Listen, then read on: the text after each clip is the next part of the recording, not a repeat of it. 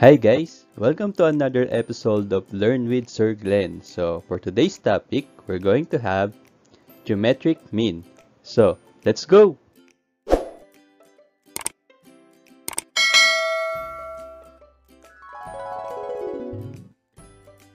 The concept of geometric mean is almost the same with the concept of arithmetic mean, except for this time, we're going to have a finite geometric sequence for example, let's have 2, 4, 8, 16, 32, and 64. On this finite geometric sequence, 2 and 64 are called geometric extremes, while 4, 8, 16, 32 are the geometric means.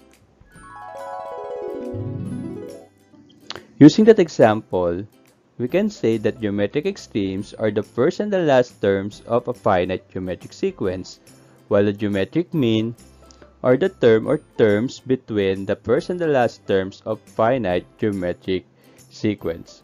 So let's have this example. 1, 4, 16, 64, 256, and 1024. On this finite geometric sequence, 1 and 1024 are the geometric extremes, and 4, 16, 64, and 256 are the geometric means.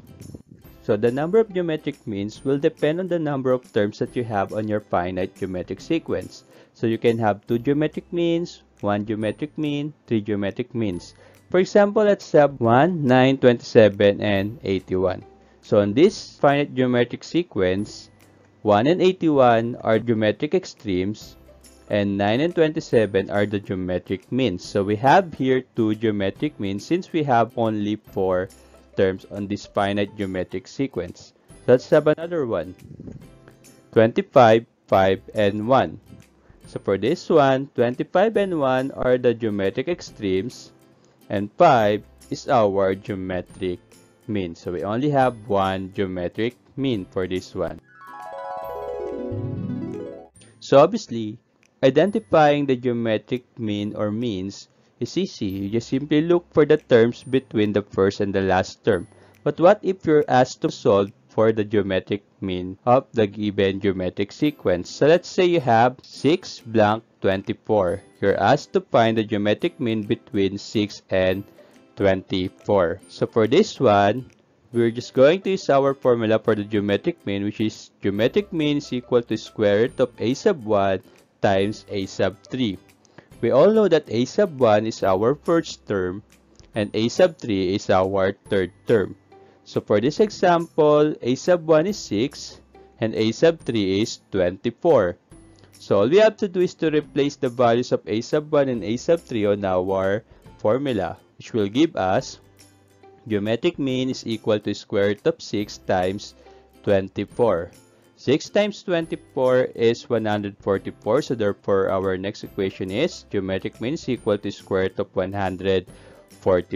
So the square root of 144 is positive or negative 12. So notice that we have here two values. So you can have the positive 12 if r is positive and negative 12 if r is negative. So therefore, the geometric mean between 6 and 24 is either positive 12 or negative 12. So if you're asked to find a specific geometric mean, let's say you're asked to have the positive 12, you just simply get the positive 12. Or if you're asked to find the negative geometric mean, you choose the negative. So remember that this formula is applicable only if you are solving for one geometric mean. Okay, so let's have another example.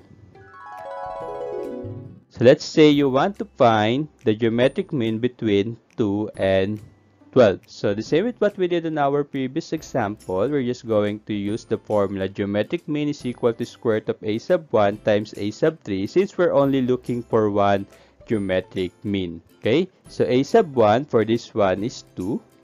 Then a sub 3 which is the third term for this one is 12.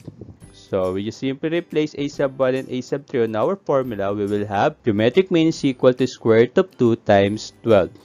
So 2 times 12 is 24. So geometric mean is equal to square root of 24. Since 24 is not a perfect square, we cannot get the square root yet of this number. So what we're going to do is just simply simplify your radical. So how we're going to do that? So we're going to look for the factors of 24. It can be 1 times 24 or 2 times 12 or 3 times 8 or 4 times 6. These are the factors of 24. So what we're going to do is to pick one of the set of factors that have a perfect square. So for this one, we're going to choose 4 times 6 because 4 is a perfect square. We're going to express 24 as product of 4 and 6. Since 4 is a perfect square, we can get the square root of 4 and we can put it outside the radical sign. So that will give us positive or negative 2 square root of 6. So our geometric mean is positive or negative 2 square root of 6. Okay, so let's have our last example. So insert a geometric mean between 14 and 3. Although the problem is presented in a different way, so all you have to do is to make it this way. 14 blank 3 since you're going to insert a geometric mean between 14 and 3. So since we're looking only for one geometric mean between 14 and 3, we're just going to use the same formula as what we did on our previous examples, which is geometric mean is equal to square root of a sub 1 times a sub 3. For this one, a sub 1 is 14 and a sub 3 is 3. We're going to replace now a sub 1 and a sub 3 with 14 and 3 respectively. So we will have geometric mean is equal to square root of 14 times 3.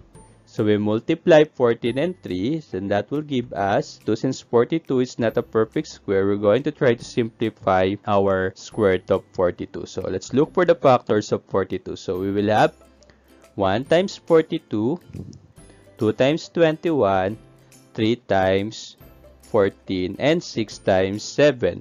So notice that among the factors, there's no perfect squares. So therefore, we are going to leave square root of 42 as is. So therefore, our geometric mean is equal to positive or negative square root of 42. Okay, so that's it. We're done. Thank you for watching and I hope you have learned something from this video.